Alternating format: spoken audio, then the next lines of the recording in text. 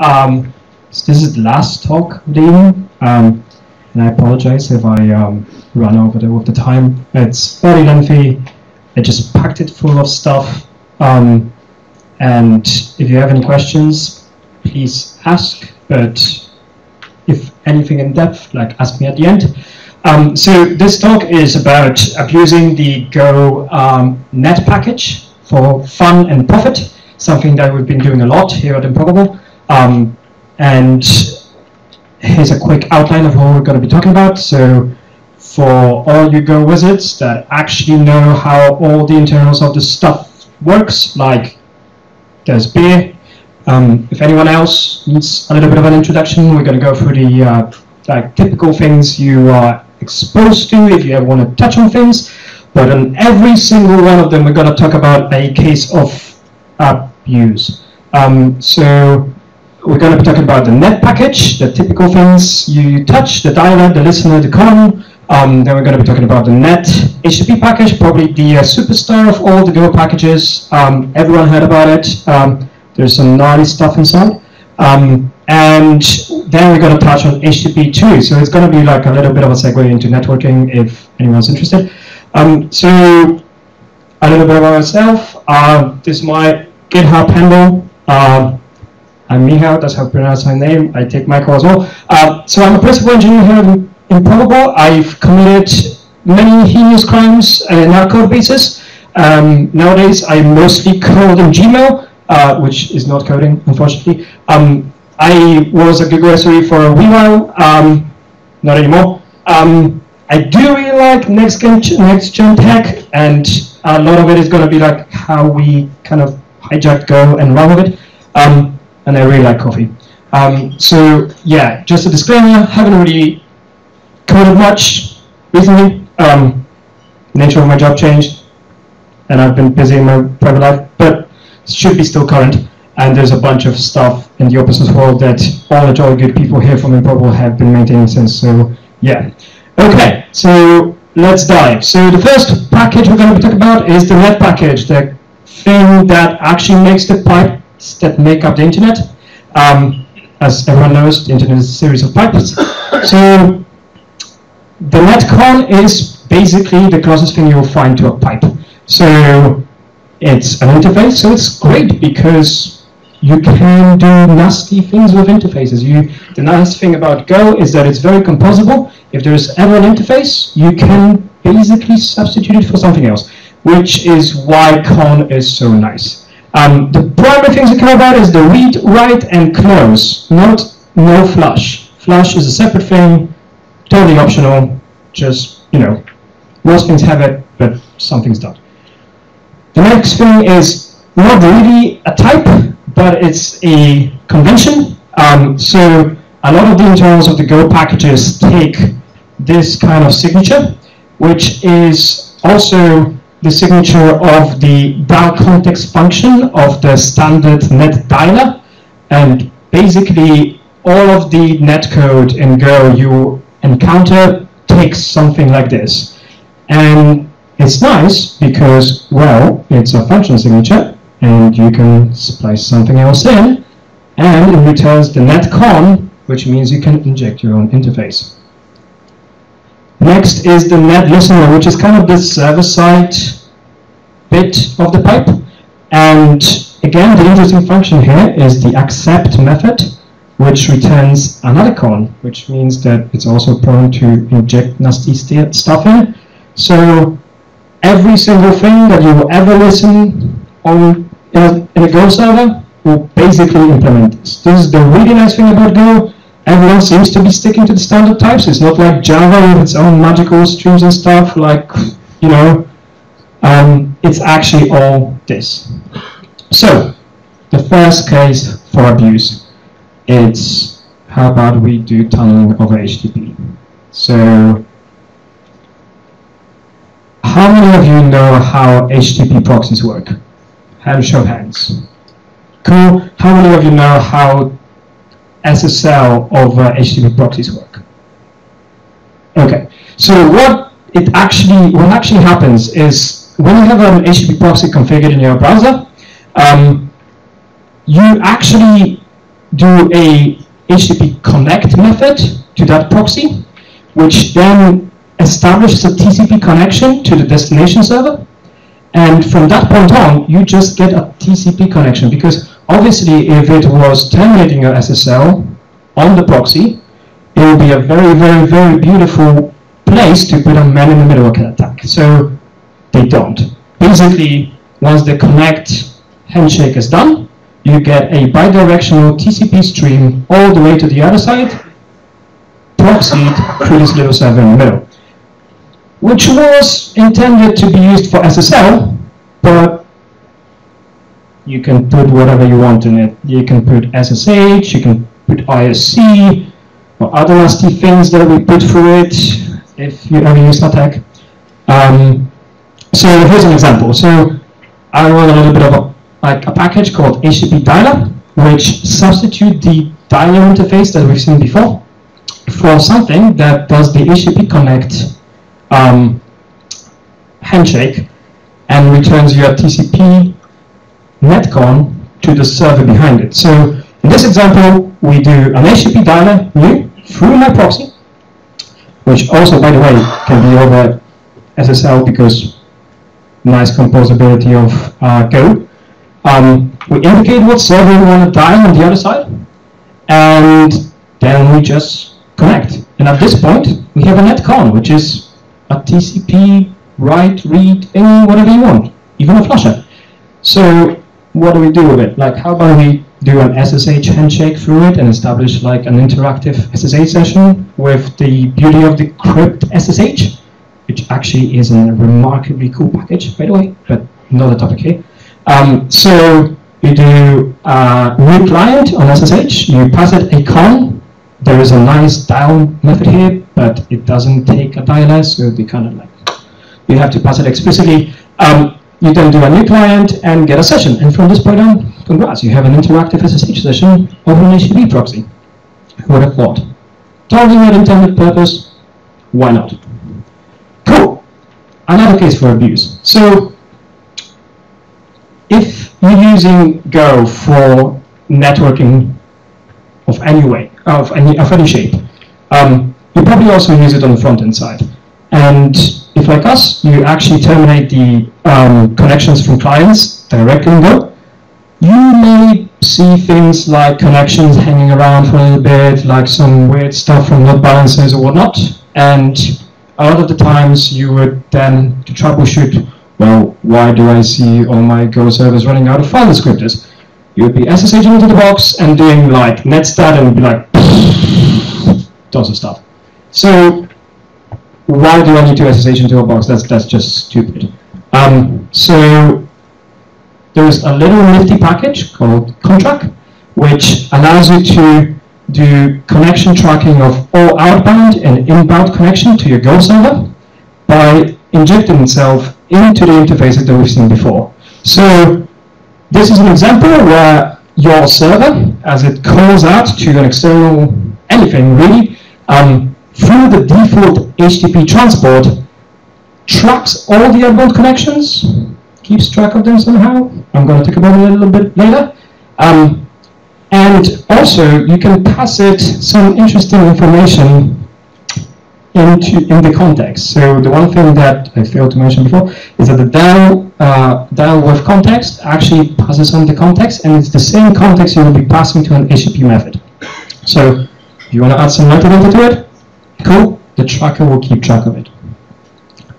Next, you also can track inbound connections, since the listener actually can return you an arbitrary netcon of any type you want why not return your own netcon? So in this case, we have a typical listener code like netlisten TCP 8080 because 80 is privileged and couldn't be bothered. Um, so you do conntrack listener, wrap this guy, and when it actually accepts a new connection, let's wrap it into another struct and keep track of it. So this way, everything that enters this server on this port will be tracked under this HTTP bucket you probably are wondering what this tracing thing here is in here. So this actually gives you the really nice netstat thing. So How many of you heard of the um, XNet trace package in Go?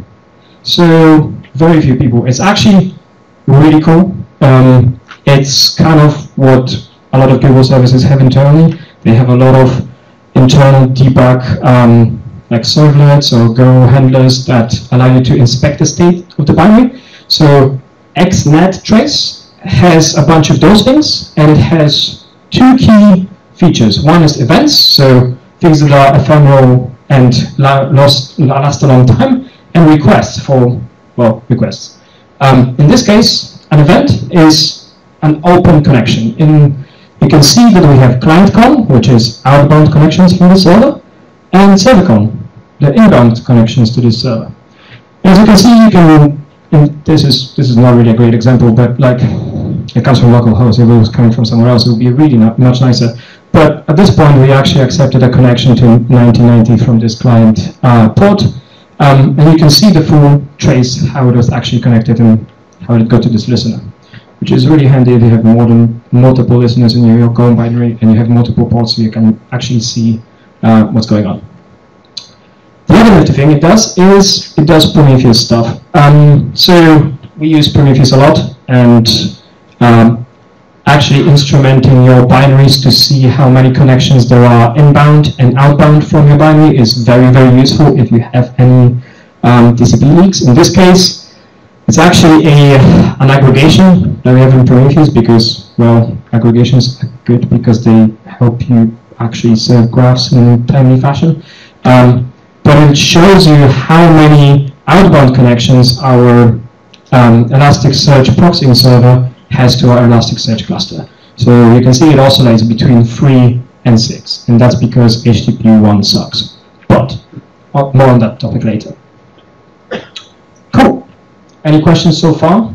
This was the really nice and very simple net package. Before we delve into the beast. Any questions so far? Nope. Cool. So the net HTTP package which is probably the thing that most people get exposed to when they touch Go for the first time because Hello World is no longer the thing that most people write. It's just some HTTP server um, because it's really easy in Go. Um, but most people then just write wrappers and tons of other external libraries around this and whatnot. But what we're going to do is actually look at the internals the low, like the kind of standard types that it has in order for to make like other things that we abuse it for are kind of clearer. So apologies for repetition, you probably all know this guys. Uh, so I try to extract most of the interesting bits out. Um, so HTTP request, which is a magical hybrid of client-side and server-side code, and it has so many things, so many methods, and so many fields that I didn't bother putting it on the slides. Um, so I decided to go with the interesting quirky stuff. The host field, don't trust it. It's not really what you're thinking it is. Um, most of the stuff that you want on the client side is in the URL field. And if you happen to write your own header file with host in it, what will happen depends on the particular Go version, so never do that. Um, GetBody is actually a relatively new introduction in, I think, 1.8, um, which allows you to, for example, let's say you are uploading a file and the receiving server tells you like, hello, but I don't want this, please, please upload it somewhere else, you get a redirect. So getBody allows you to provide a function which will reset your input stream to the beginning and upload it from there. Really handy if you have a big file and you don't want to keep it all in memory. Um, trailer. So trailer is a really interesting, interesting, nifty thing. A lot of people don't know that HTTP 1.1 has trailers. Um, HTTP2 does, but HTTP 1.1 also has. Um, and it's actually quite nifty and useful for purposes at the very, very end of the presentation, so I'm going to leave it out for now. Um, the other one is TLS connection state. So you're like, okay, but this is my request. Why would I have a connection-based object in it? Like, it makes no sense. That's connection scope. This is a request scope. What the hell? Um, Actually, it's remarkably useful, but only if you're on the server side. But it's the same type, but never mind. Um, so this is really useful if your HTTP handler wants to validate the connection credentials of the client in the handling code. If, for example, you wanna you did a TLS connection that is mutually authenticated, and your client presented some certs to your server, you may want to extract the details out of that, or you want to check or show a warning or throw an error if they're calling with an old deprecated TLS uh, version. Yep, you can do it here. Actually working with the connection state is absolutely, absolutely horrid. If anyone tried that, yep, terrible. Um, but the other thing that is extremely useful in the request object, and I who here hasn't heard of the context object, context type? Everyone heard of it? Yeah, cool. It is probably the best thing in Ghost and sliced bread. Um, it actually allows you to scope everything that happens to your request and everything that you would do as part of your request handling to the inbound request. So previously, if you had to work with the cancel func of request, yeah, not great. Um, this does it automatically. You can call a database query, you can call an external service with another HTTP request, you can even like, I don't know, like go to space. Um, it will all be scoped to the same request and everything will be cancelled together. It's great. It also allows you to pass arbitrary strings and other types as well, which is great for abuse. Um, so this weird thingy is both some, so, so, some of the fields and some of the methods are used on the server side, some of them are used on the client side, some of them are used for both. Um, which one it is, you just need to like figure out in practice because the documentation doesn't really tell you that much. Cool, the HTTP response, and you'd be thinking that this is the same as the HTTP request, but it's not because this one is just a client client side one. They just confuse you. Um, so the one thing that always trips people whether you use Go for the first time is this doesn't really give you the, the all the stuff that you would expect from the server. It just returns to you immediately after you handle the uh, request, and then it gives you this nice, nice body. So the only thing that it has is the headers of the response, the status code, and all the other stuff, and after that you do the body thing.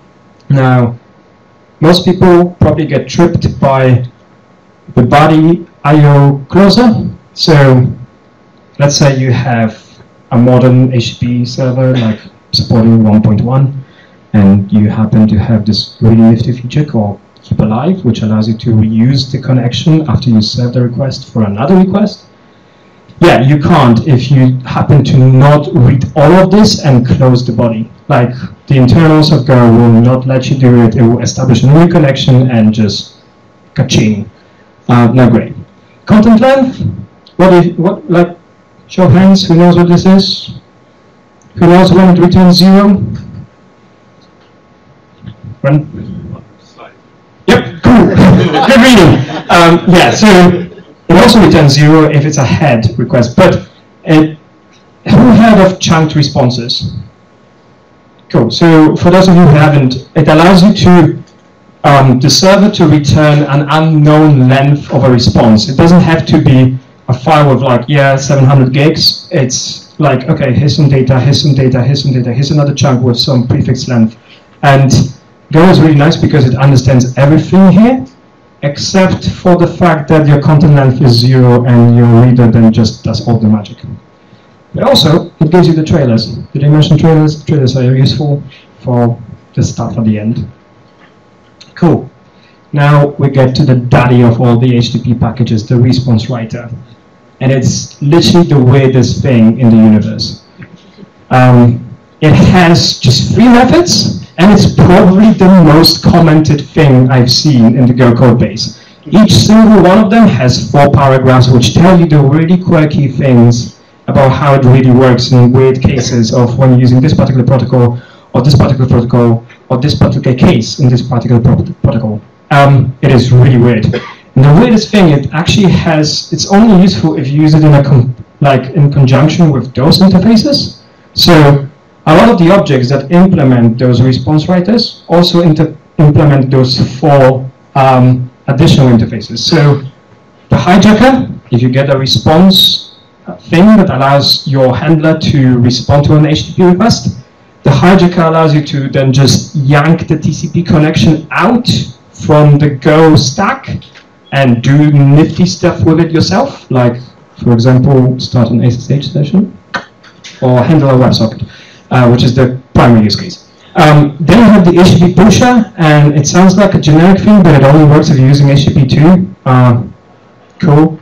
The flusher, yeah, because obviously people implement um, implement HTTP servers over things that don't have a flush interface because your netcon doesn't have a HTTP interface, so the response writer can't have a flush in it. So there's an additional interface you can use to flush bytes to your client in chunks, for example. And the close notifier, which if you didn't use context, allows you to add the function when the inbound connection closes. Cool. So, how it all ties together. So this is probably the most commonly, every single person who did a like hello world in a Go web server would see this. This is the handler func. It takes a response writer. I mean, you have no clue what this is, but for some odd reason, this is a pointer to a struct, and this is an interface. Whoa. So this is the only canonical way of writing HTTP handling code in Go. And every single magical framework that you've ever encountered for Go boils down to this, except for the fast HTTP, which is a completely different beast, but I'm not going to talk about it right now. So this interface has become significantly more useful um, since Go 1.7. A lot of those frameworks were adding additional things that you could pass around in your uh, in your handlers, like your route that you were like routing through from your router, your logger, your whatever. But now you don't have to because your context is in the request, so you can attach whatever you want in it and abuse it for whatever you want. So I was talking about frameworks, and the primary reason why people write frameworks is so they can avoid repetition when they write the kernel HTTP uh, service. Like, show of hands, who is using like Gin? No. What actual frameworks do you guys use, like for HTTP? Sorry? GorillaMux. GorillaMux, okay, that's one. Anything else? Chi. Chi, cool, yeah, yeah, they're cool. Um, what else? No, cool. Wow, that is a surprisingly narrow. Um, what was the thing that we were using that was terrible? Echo. Echo, yeah, screwed up. Um, so Chi has a really nice uh, interface, so actually not an interface, a type for defining middleware. It is so succinct yet so powerful. It is a func from a handler to a handler. It may sound confusing, but it's actually very, very beautiful. So it's literally a recursive wrapper over handlers, which allow you your wrapper to do stuff to the handler before it executes and after it executes. Um, so you can basically commonize a lot of things like logging, monitoring, tracing, like OpenTrace or like the debug request stuff, um, if you want to. So this is precisely what we did in go-httpwares. We wrote a ton of really useful stuff for ourselves and now for others. Um, so this is an example. So you take a chi chain, Jesus, um, chain um, that first of all um, it does what we call context tags. So this is kind of like a thing that pulls out common information from the request and allows you to have like a nice kind of key value access to it. Um, so you can then easily print it in your debug handlers for debug requests page. You can easily attach it to your OpenTrace metadata. You can then also use it to do Prometheus stuff. Did I say they were using Prometheus? Yeah, a lot.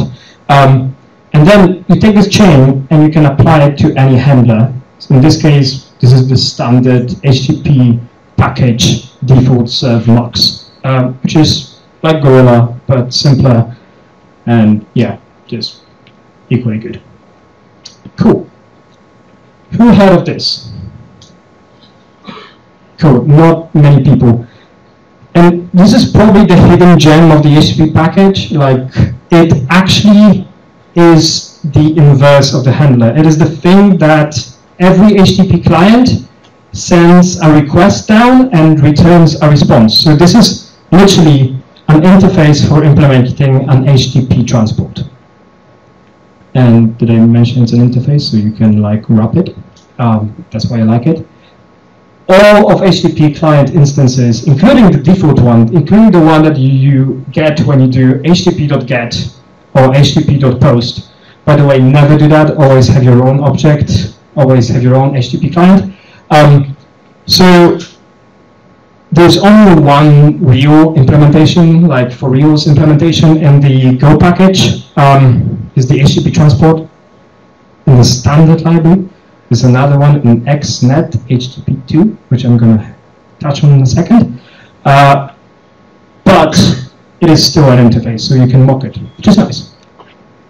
And what do we do with it? Like, so following in the footsteps of Chi, we decided to implement the tripleware, which is basically middleware for outgoing stuff because you obviously not only want to like do common stuff to the things that comes into your server, but you also want to do common stuff that goes out of the server. So what do you want to do with it? Like you do log your outbound requests. So for example, I don't know, you're calling external services and we're in the business of games and Steam doesn't always work. Um, so you want to log the requests you get from that, like all the errors you get from that, because it will you will know that it's not you who's failing, it's the upstream service that's failing.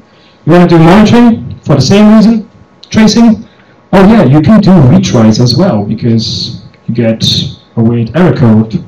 And if you know it's idempotent because it's a get ahead or something like that, why not? And equally debug requests. So,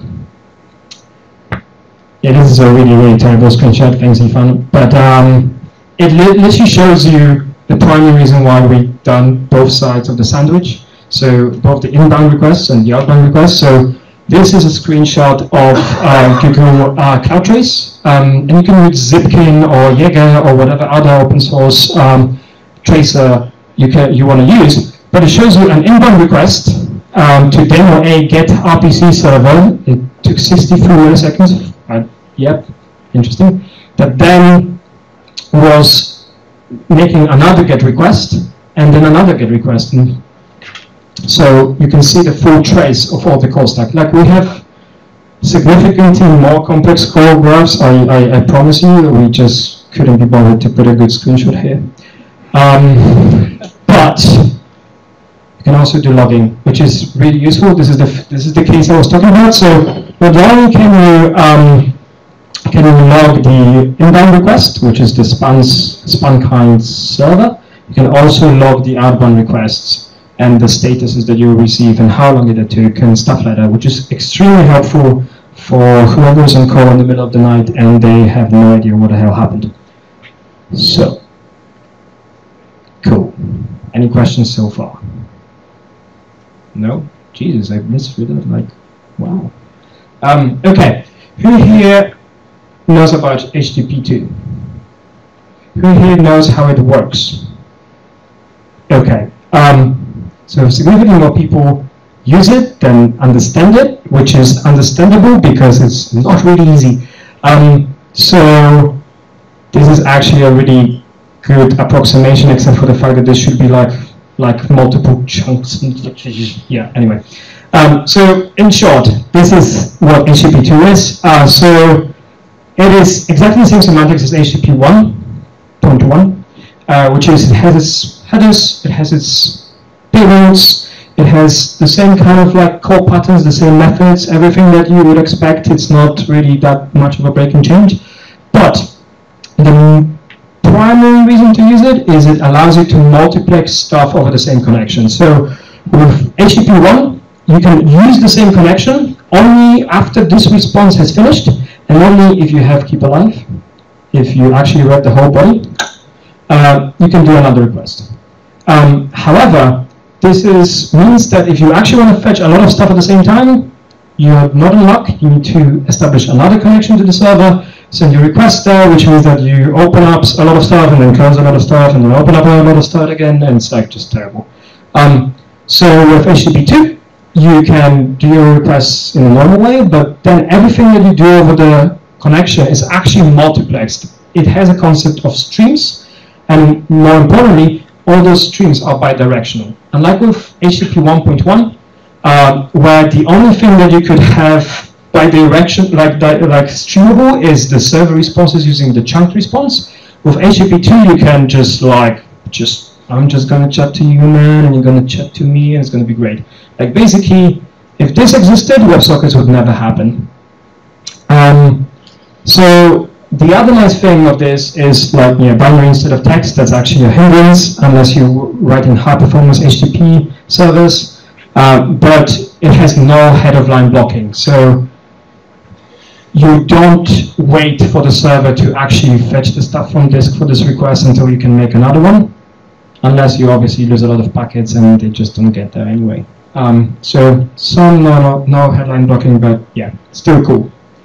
So a lot of the advantages of HTTP2 is the fact that it can actually run on the same port as your HTTP um, one server, and you don't really have to like think about, oh yeah, I should be talking to that different port or that different port instead when I'm using HTTP2. Um, and that's because HTTP2 is designed to be uh, transparently upgradable, or not really transparently, but like without much hindrance, upgradable from HTTP 1.1. So there are two ways. Uh, for plain text connections, you can use the HTTP 1.1 upgrade method, uh, which is by itself has been invented for WebSockets, uh, but Go supports only one of them, which is the TLS 1.2 Application Layer Protocol Negotiation, ALPN. So it sounds scary. It really isn't. If you're familiar anyway with TLS negotiation, what happens is the client says like hello, and the server says hello, and during that hello, hello, they can tell each other stuff. Like for example, hello, I support those protocols. And the server says, yeah, cool, I'm gonna pick this one. Great. That, that's all. Like literally that, that that's ALPN. Um, so Go supports this magical negotiation transparently and how is the topic of the next two really, really hardcore slides because I'm going to delve into how the internals of the HTTP transport work. Whoa, Jesus. Um, yeah, sorry, that was, that took away the, the whole thing. Um, so, you have your HTTP client.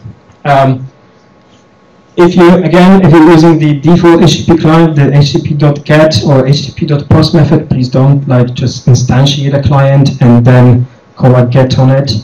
Underneath the covers, it's going to call the do method, which is a really well-defined method. Um, it's a cool name. Um, it takes the request and it passes it to the round trip interface, the thing that actually does the HTTP stuff. So the default implementation is the http.transport, and the http.transport is a beast because it does a lot of stuff. So the first thing it does, have you ever implemented any other protocol other than HTTP? Have you heard of Gopher protocol? Yeah, cool. So this is the bit that in the HTTP transport, someone just jammed in a way of calling an arbitrary other transport because why not? So you can register a thing that will call Gopher or FTP over HTTP.transport. Like, okay, still cool. Um, then after it actually decides it's HTTP, um, it's great success. It goes and it's like, okay, so how do I call the URL that is in the request? How do I actually get that? So this is the internal method called getConn, and the getConn does two things. First, it consults the getIdleConn. What do you think it does? Nope. yes. and it has its own uh, idle pool. So when we're talking about keep alives, this is where idle connections after keep alive requests are actually stored. So if there's one free, it will just give it to you, and it's going to be quick, and it's going to be awesome. But if it's not, it will call dialConn. And dialConn is a beast by itself. It will do magical things. So in the simplest case, it's an HTTP connection direct to a server, and we'll just call your dial func that you can customize from the thing that I talked about before. But if it's not, if it's, for example, you're sitting behind a proxy and you have like a proxy or environmental variable established, it will automatically detect that and it will dial through this, but then will fall back to that and will do a magical dance and like tip its hat and do magical things. I don't really want to talk about it. This is so complicated and convoluted. It's terrible. But the most other common case is will check if your scheme of your URL is HTTPS instead of HTTP and pass over to the TLS dial. And TLS dial does everything that the TLS connection should do, which is check what are the trusted certificates I have, what kind of crypto stuff I can use to talk to the server, and guess what it does? It actually calls func again underneath. Layers. Cool. So after we get the dialConn, it will then say, you know what, I'm good, I can now handle this stuff, but HTTP has this magical function called redirect, so it's not just that easy, like you just don't call, it will automatically redirect for you. So this works in a loop and executes the HTTP round trip function itself. So it writes the request to the server, flushes it down, waits for the server to respond, returns your response uh, struct, and then gives you the reader for the uh, for the body. Cool. So far so good. Simple. Cool. So imagine now you have to bolt onto this HTTP2 support. Like, like Brad Fitzpatrick was like, the guy that wrote HTTP2 support for Go is like, ooh, where do I join this? And the answer to that is here. so, yeah, so as I was saying, uh, saying before, um, the way you detect that you're calling HTTP2 instead of HTTP1 is in the TLS layer. So the TLS layer has now an, like an additional field uh, which is just used for HTTPS and it has the TLS, TLS next proto and the TLS next proto um, takes a map from name of protocol to an arbitrary function that does arbitrary things on the connection. So at this point, since you can't break the abstraction between TLS and HTTP, it couldn't be another round tripper, so it's an arbitrary function that then, then takes this protocol, this connection that it established, it will add it to this connPool, but it will also add it to the default connPool of the default transport of the HTTP2 package, because that's the only way you can do it. Um, then returns, and the other thing that it attaches to the connPool that it uh, the, the com that it returns is the dot out dot round trip function, which is great. Because this then calls the round trip method of the HTTP2 protocol on that thing. So that's how it gets negotiated. yeah. I was trying to debug that shape. it's just mental. Um, so, why am I even talking about it? So, this is kind of like the advanced case of abuse. Um, the reason why I even introduced you to those graphs is because like I wanted to make this pun with the round robin. Um, so the thing I mentioned before is the connPool is using the request URL host part to decide which of the connections to reuse for this request. So let's say that you have to write a load balancer, and we actually kind of did that. So we have a project called Kedge, which is the Kubernetes Edge server. Um, and this is a little bit of a segue, but it kind of shows why we did the crazy thing. Um, so we have a cluster, uh, which Stefan told you about. We have many clusters. Um, so you have one cluster with a private namespace, which is isolated from the other cluster, which has its own private networking and private namespace.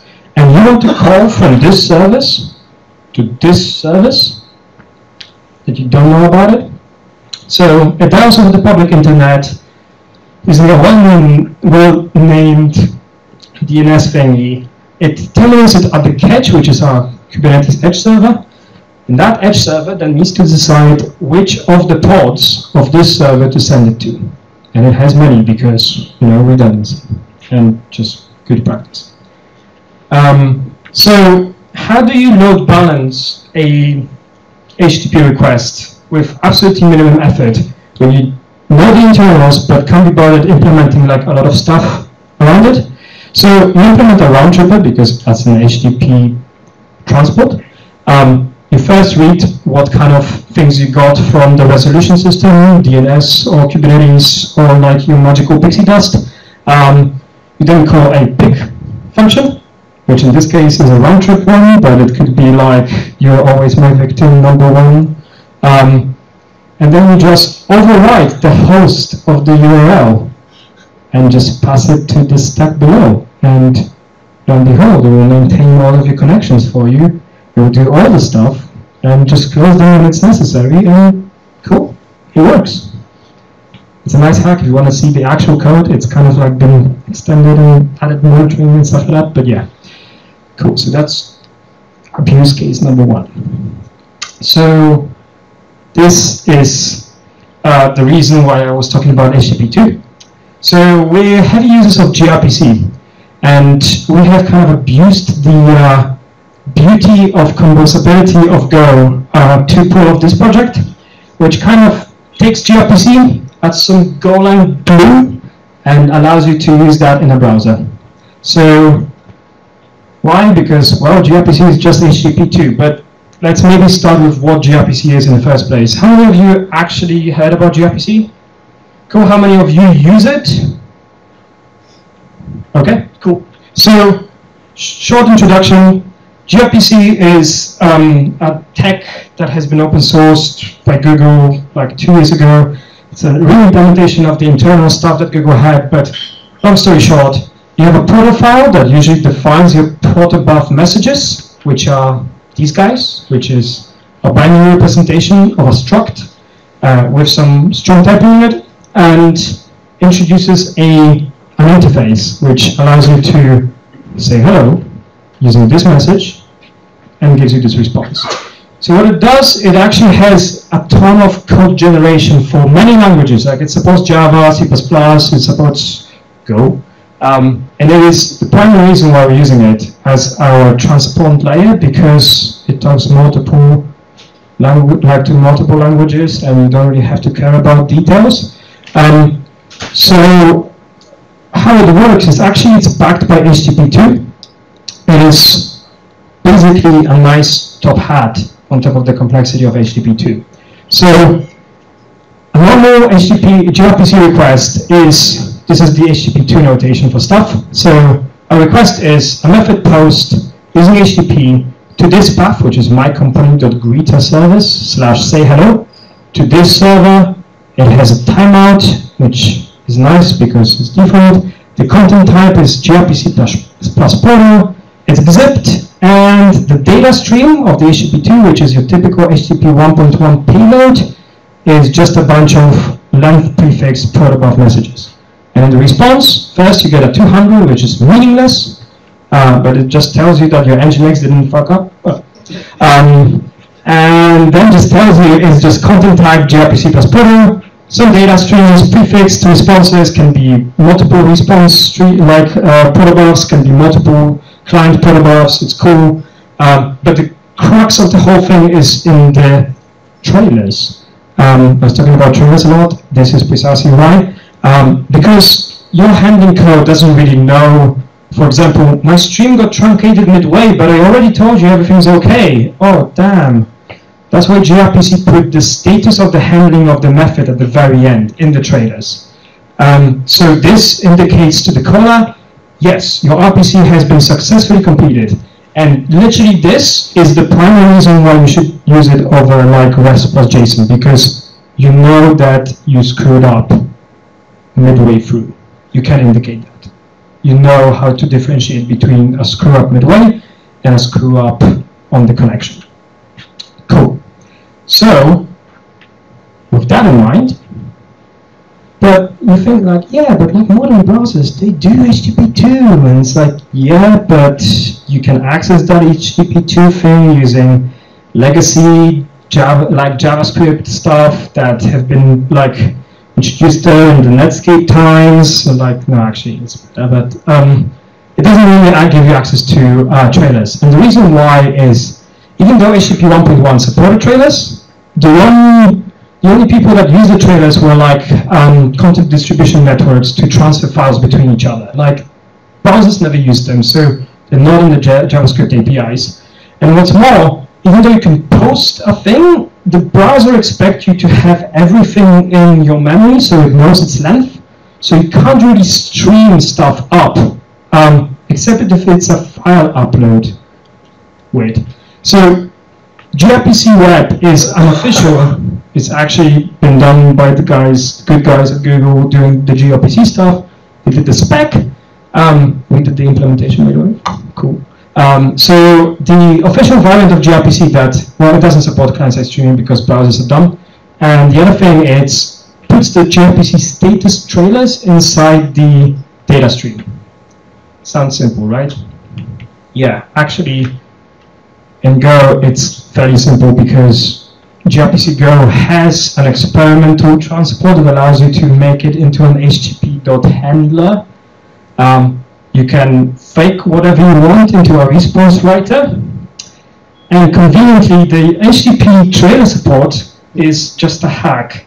So you can read it in a really weird way. So that was very helpful.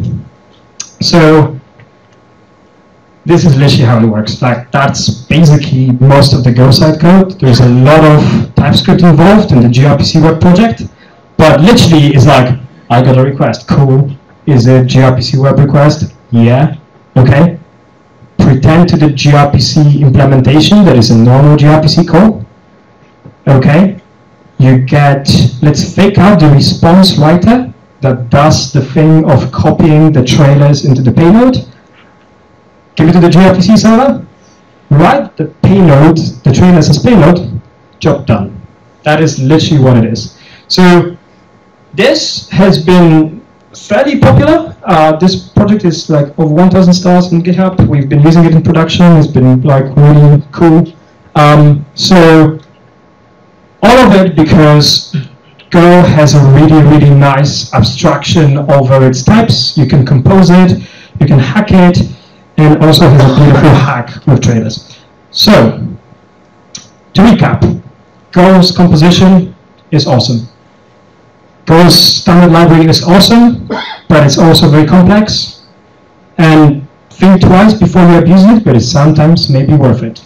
So, I'm going to leave you guys with those open source projects, the ones I actually mentioned, the HTTP Dialer, the conntrack, Chi, which is awesome, the HTTP wares that we're going to be like announcing slightly later on, Catch, which is not announced, but it's kind of open source, and gRPC Web.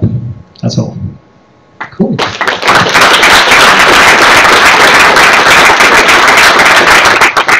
Other questions? Yeah, so you mentioned gRPC Web, and uh, I'm, I'm aware that you guys have an implementation in TypeScript.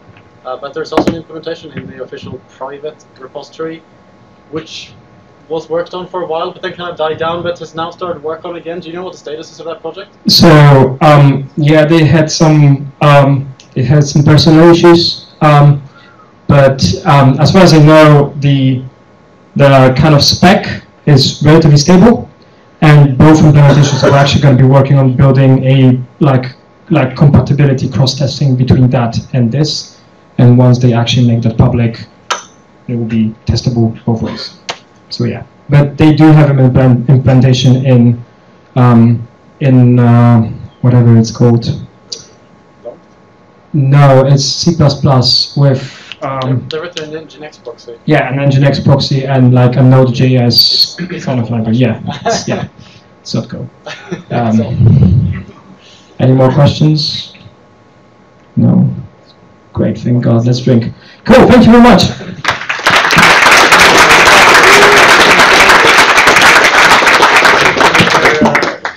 JavaScript library.